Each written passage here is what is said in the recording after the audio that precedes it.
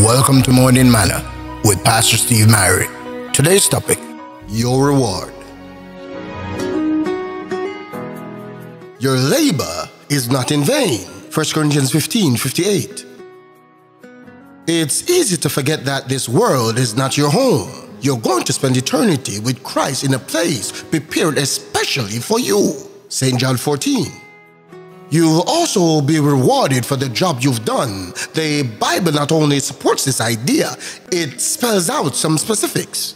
Here are three you need to know about today. 1. Most of your reward will be received in heaven, not on earth. There are earthly rewards, and we can see Mark 10 30.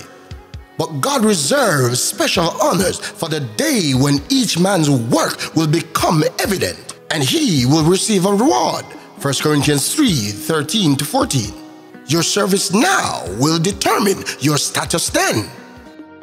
2. Your reward will be based on quality, not quantity. We are impressed by size, volume, noise, and numbers, but God has His eyes on motive.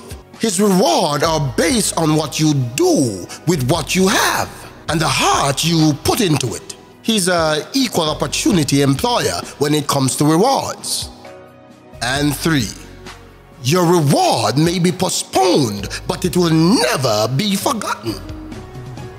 When you've done what was required, yet you are ignored and misunderstood, remember your labor is not in vain. When you've done the right thing and received neither credit nor acknowledgement, remember your labor is not in vain.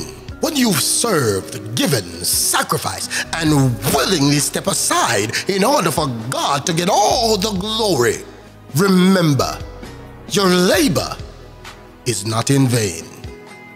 The thought for today what an assurance.